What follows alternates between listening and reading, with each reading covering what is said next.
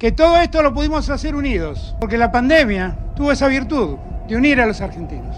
Estamos todos trabajando para que esta pandemia nos tome realmente muy preparados y así estamos haciendo las cosas. Así que con la mejor planta de especialistas de la Argentina, con, con, el cuerpo del Ministerio de Salud, que tiene todos hombres y mujeres de renombre. Y por supuesto la mejora tecnológica también mejora la capacidad de acción y de decisión que tenemos nosotros. Y esperemos que este sea un, un factor más de hacer mejor las cosas. El kirchnerismo te viene diciendo hace tiempo que venimos aplanando la curva, pero la realidad es que te mintieron, así te des cuenta cómo te tomaron de imbécil. Y si no me crees, mira. Mientras la nación te decía que Argentina tenía la tasa de fallecidos más baja y era ejemplo en el mundo, los números que manejan todos los países muestran que Argentina subió la cantidad de muertes y el relato de aplanar la curva fue siempre una mentira y fue desvaneciéndose, ya que los datos reales demuestran que Argentina tuvo incrementos de muertos en abril, mayo, junio y en septiembre tuvo un incremento a nivel mundial. A su vez, si comparamos Brasil y Argentina en la cantidad de muertos cada 100.000 habitantes, Brasil tuvo dos meses en rojo y dos meses en verde, mientras Argentina tuvo tres meses en rojo y uno en verde. Brasil sin cuarentena tuvo mejores números de recuperación que Argentina y su cuarentena infinita. Un dato no menor es que para terminar de desarmar el relato del régimen quillerista, es que desde comienzos de julio y hasta el 28 de agosto, el primero en la lista de positividad en América Latina era México y desde el 29 de agosto pasó a ser Argentina con el 54,1% frente al 53,7% de México, dejando la Argentina en un octavo lugar por arriba de México en cantidad de contagios a nivel mundial.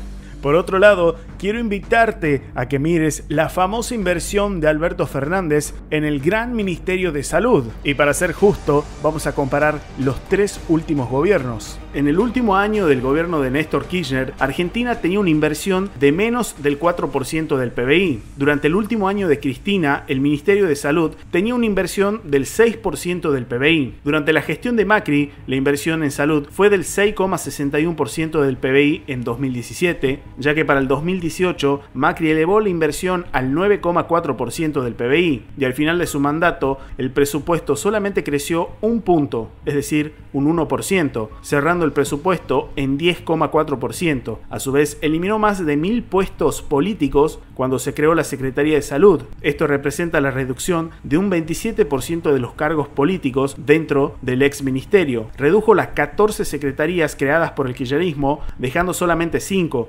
achicando un 64% esas subsecretarías. También redujo las direcciones nacionales, que pasaron de 36 a 24. Esto implicó una reducción del 33%. Con Alberto, la inversión del Ministerio de Salud para el 2021 será del 0,5% en relación al PBI, teniendo en cuenta que en su monografía del presupuesto aclara que en 2020 la inversión fue de un 49% menos que la del 2021.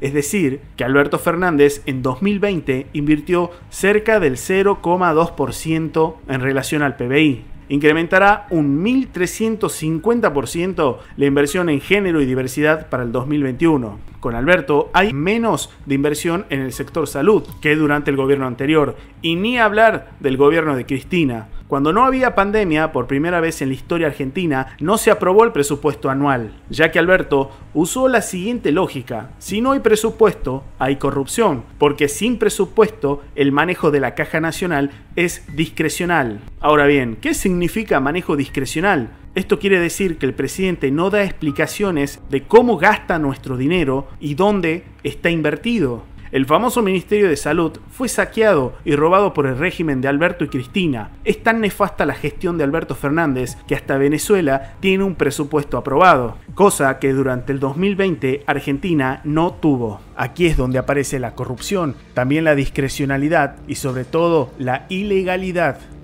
En abril se compraron 200 unidades de 500 gramos de alcohol en gel a 399 pesos y 800 unidades de 250 gramos a 107 pesos con 92 centavos, pagando un sobreprecio del 33% más caro que su valor real. También fueron detectadas compras masivas de varios productos esenciales como fideos, aceites y arroz con precios elevados hasta un 50% más caro. Luego hubo una segunda compra con sobreprecios de hasta el 60%, gastando más de 354 millones de pesos, siendo tan escandaloso el acto de corrupción que Alberto y Daniel Arroyo se vieron obligados a despedir a 16 funcionarios del Ministerio de Desarrollo Social. Se sumaron las denuncias de distintos hospitales por detectar sobreprecios en los barbijos, ya que los barbijos costaban 3 pesos la unidad y el gobierno los facturaba entre 60 y 80 pesos la unidad.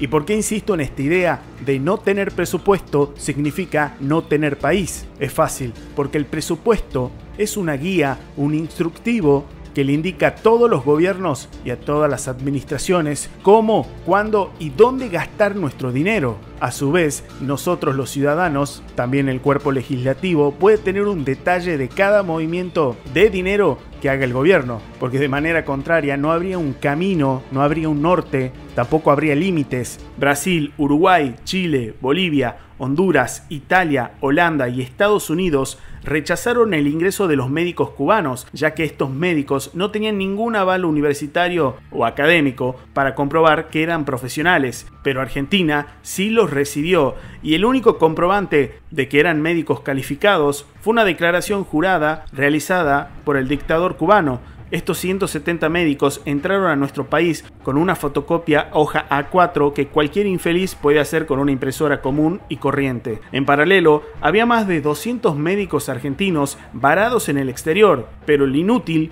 que dice que es presidente, prefirió depositar nuestras vidas en manos de estos supuestos médicos cubanos que hasta el día de hoy siguen sin acreditar su idoneidad académica, mientras el inútil le paga a Cuba 2.700 millones de dólares mensuales, el presupuesto total del Ministerio de Salud es del 0,2%. Un médico argentino tiene un sueldo mínimo de 30 mil pesos y un bono indigno de entre 5.300 y 7.000 pesos. Esto significaría 1.500 pesos menos que el subsidio incentivo al drogadicto de 8.500 pesos, lo cual le daría un sueldo mínimo, en el mejor de los casos, de 37 mil pesos. Por otro lado, Alberto le paga 51 mil pesos de promedio a un médico cubano sin certificación académica, más el mismo bono que los médicos argentinos, dejando así el sueldo promedio de los médicos cubanos en 58 mil pesos. Un médico cubano cobra 21 mil pesos más